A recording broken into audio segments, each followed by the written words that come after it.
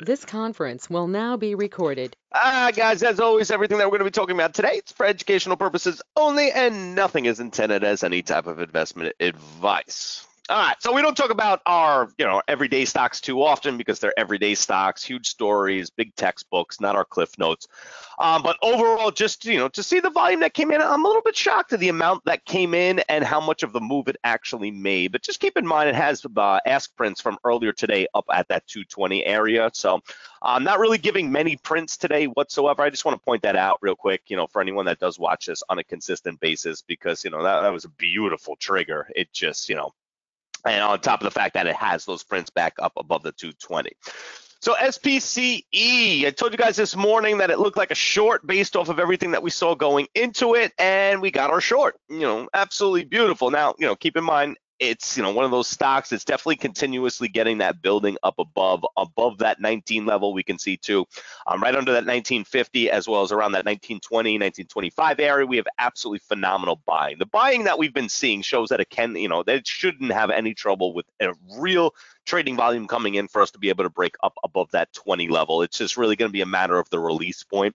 Um, you can see it gets a little bit stingy sometimes, and it looks like it gets into those kind of, kind of consolidated buying, and then we get those, you know, that volume out of nowhere. So something to certainly be looking for in SPCE coming into this afternoon. CMCSA.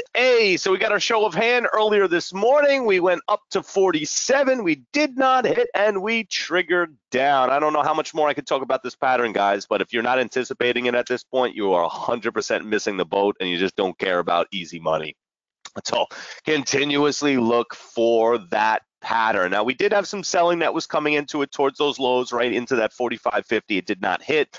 Um, so obviously we can see that it did kind of push up to that dollar, but it has the selling to get us to that 45. It's just going to be a matter if we get enough trading volume to actually get it out of this kind of quanti type um, trading that we have. Um, we, we went over some stuff in class today. I can't wait to talk about it just based off of how to interpret the prints and especially looking for the, the prints that come after the people that we're going to follow. And it just followed absolutely. It was just beautiful. And we'll talk about that all at 3 p.m. this afternoon. But it's another one I got to keep my eyes on. I have to continue to watch. Pins, P I N S. Now, this thing just give, it won't get off our freaking radar. I'm not a big fan of the way that it trades. I really, I'm, I'm not. But um, it's not going to be a huge mover, but it gives the opportunity to trade so many shares and and be very controlled. And we can see coming up to this 23 area that you know we haven't had anything that's that spectacular, but right here, this is the burst that really stood out to me is two, uh, 2277 to 2280, uh, that 2280.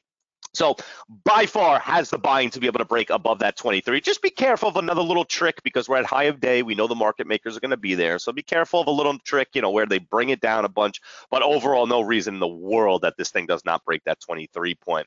PCG, another one. It's not the prettiest. It does get a little bit consolidated, but it's been giving some nice triggers, and the triggers that it's been giving have some really high volume into it, and that's something that I really do love. As we were pushing into that 14, obviously we didn't make it there um, because our volume bar was way too high.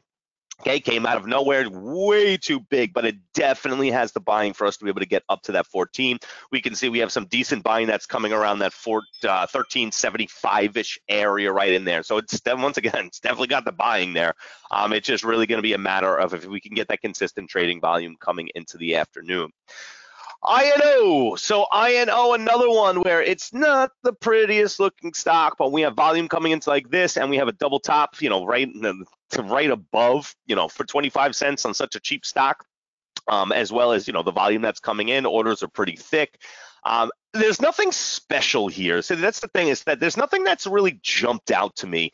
I mean, obviously we have the ask prints at four, and you know they're controlling prints, but I just want to see so much when I look at stocks like this, especially when they have that high volume. I really want to see just a huge amount. And yes, Steve, 100%. Okay. I mean, the, the trade towards the upside, even higher percentage because that completely failed flag that we had before. And that's really what I'm talking about right here is that 420 ish area where we saw that buying coming in before. We have, there's no reason in the world we can't get to that double top as long as we continue that volume and we continue that trading that's going on. Um, and then NVAX, I'm still going to be looking at NVAX because you can short it. And once again, it's not the best spot, but they tried so many times to get people to uh, basically caught in that eight level in order to what looks like drop it on them. And we see that selling that's coming back in. So, you know what? We have a little bit of room down towards where that double bottom is. We have about 30 cents, which on a stock like this, 30 cents, you know, not a bad, not a bad, uh, bad takeaway. So let's see what we get here at that 750. If we continuously see that selling coming in, and we don't want to see a ton, but we want to see some selling coming in to show us that we'll be able to continue on our way down. Overall, I still do think that don't get me wrong. I'll, overall, I still do think even after a breakdown that we end up going up above that eight level based off the amount of uh, of a position that we saw coming into there before, and and really, I mean, they showed that they they wanted it to go higher. But when you look over here on the daily, it tells us a huge amount. We have that gap that's right there. I wouldn't be shocked to see it go down to six first because we we've seen it. Okay, this, you know, we, we go, we pushed up to 10. If you look at the actual high, didn't print at 10 because it's 9.99. We ended up coming back down, but it's still holding very well. So I'm going to be watching this one pretty damn closely um, over the next few days. All right, guys. And other than that, anything else out there that I missed? ONTX, I, I see is, you know, starting to push towards that upside. Unfortunately, I just don't see enough. Uh, you know, it's, you know, for 40 to 46. There's, you know, six cents I can see there, but other than that, I mean, it's just not enough. Um, enough volume that's coming into there. And then just take a look at pins real quick based off of what we just talked about. I mean, if this doesn't confirm it, I don't know what the hell does, but see this right here? That's what we call a ballsy big position. So expect a little bit of a pullback from there because if it's at the high of the day, we, we expect a little bit of games. but like I said, I don't see how it holds at 23. All right, guys, anything else out there that I missed? Anything else out there that we got going on?